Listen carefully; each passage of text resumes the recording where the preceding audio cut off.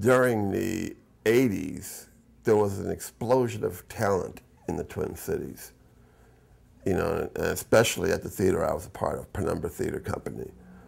You know, the most famous member who came out of there was August Wilson. But things were happening then in the 80s that was going to radically change the American theater in the 90s and the 21st century. You know, and I was around for the beginning of a lot of that, sitting around tables at Esteban's, talking about how we were going to all change the American theater. Then, you know, August actually did. and in a way that it's not gone back. Um, so that's pretty much, I've, I've, I've been lucky. I'm not um, a university baby. I mean, I took acting in college, but that was just to meet girls. You know, um, I didn't really get into it until later.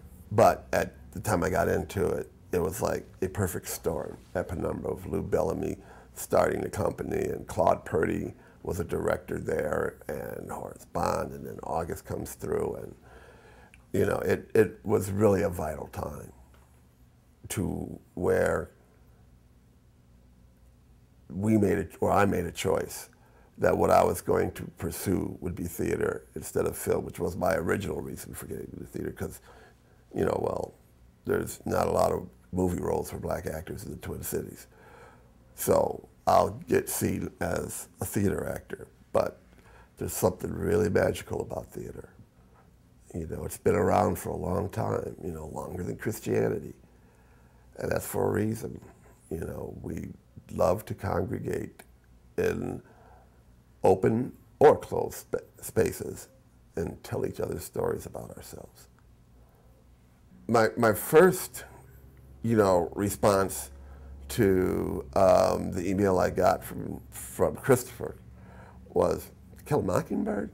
It's just that's done to death, and you know, you know Gregory Peckett's Atticus, and is there going to be another one? And you know, why do I want to do that when there's so many new plays about?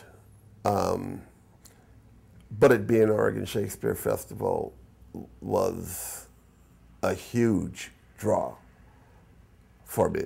So I was like, well, this is the first time I've gotten offered something from there. Might not happen again if I don't take this one. So I started convincing myself that it wasn't old, and I went and bought um, the book and reread it, and read it like in one night, like I did the very first time. And my reactions all were like back when I was a kid and I read it. And then I turned on the TV, there it is on cable, um, and so it's like, okay, okay, you don't have to hit me over the head with a brick. This is something I'm supposed to do. You know, I'm watching it and it's removing me like it did before. And I love theater that moves you, whether it moves you to cry, moves you to laugh, moves you to depression. I want it to move you. You know, you come in, you should get a journey. You know, you come in ready to go on the journey. So it's my job to actually take you on that journey. And I, and I love audiences. You know, they're so fascinating. So that and the fact that, you know, Bill was running the place now. Like I, I'd worked for Libby when she was at Indiana rep, and I know she wanted to bring me out here, but back in those days, my soul kind of belonged to August Wilson. You know, if he had something going, that's where I was going to be. Um, so I never got a chance to work here while while she was here. And then when uh, Bill was going to be taking it as she retired, like, oh well, there goes my shot at Oregon Shakespeare because I don't know.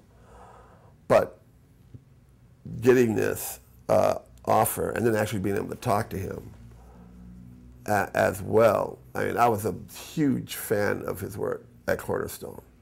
I thought it was some of the bravest theater going on in the country.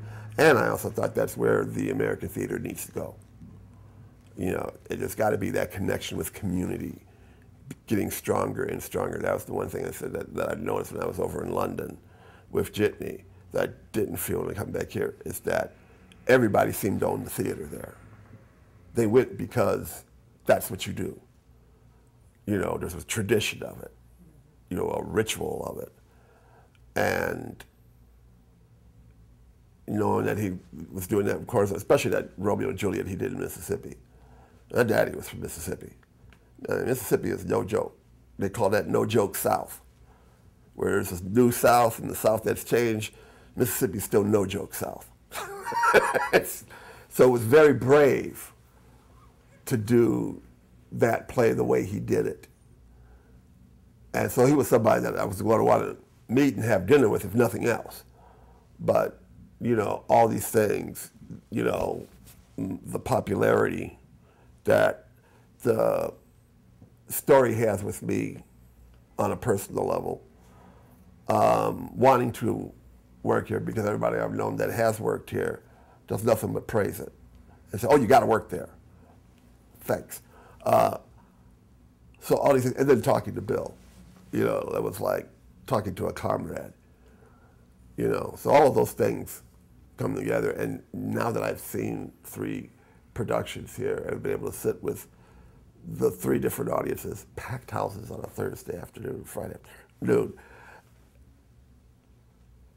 I'm really excited because I don't work for my next job. I work to connect with the audience. And this audience here, they're raring to go.